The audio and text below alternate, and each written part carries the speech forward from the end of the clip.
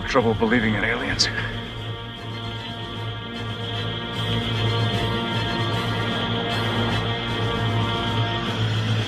No!